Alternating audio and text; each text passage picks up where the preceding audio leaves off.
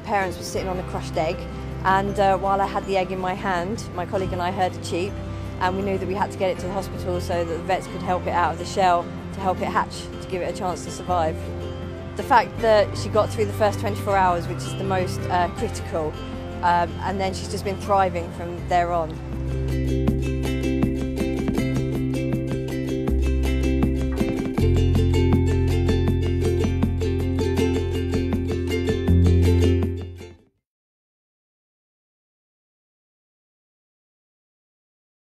Holy.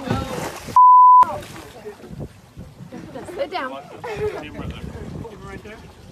Look Linda, how big this fish is. Oh my, oh my God. Did you get him? Yeah, yeah he got him.